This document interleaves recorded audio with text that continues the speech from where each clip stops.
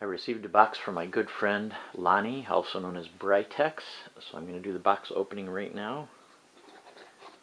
I already know what it is. He sent me something that he bought that didn't quite work out for him.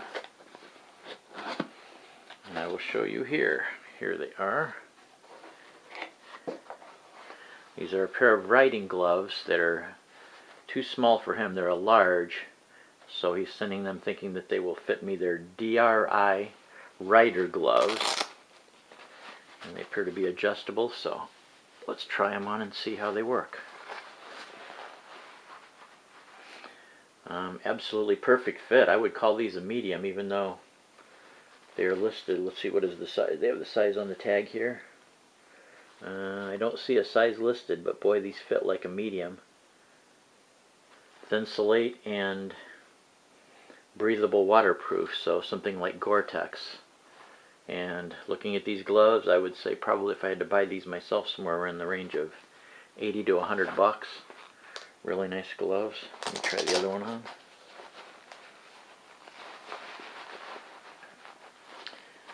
Really nice cold weather riding gloves. They have a, a little pull thing here so that you can even cinch up the gauntlet part of them.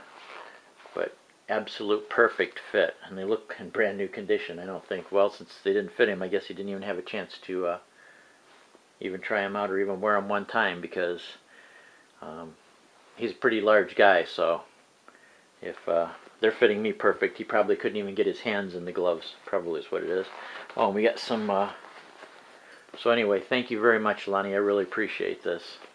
It's nice when members of the community share stuff. If you have something and uh, somebody can possibly use it and you're not able to return it, please uh, see if somebody can possibly use it in the community. That's what we're all about here. And what do we have here now? We have USA Olympic decal, a rabbit decal, and oh my gosh, Orange County Choppers, an Orange County Choppers patch. My grandson is really into Orange County Choppers, so I bet you I'm gonna I'm gonna give this to him for his uh, jacket. He's got a jacket where he puts patches on, so I'm gonna give that to him. So anyway, thanks again, Lonnie. Britex, check out his channel. If you haven't subscribed to his channel, subscribe.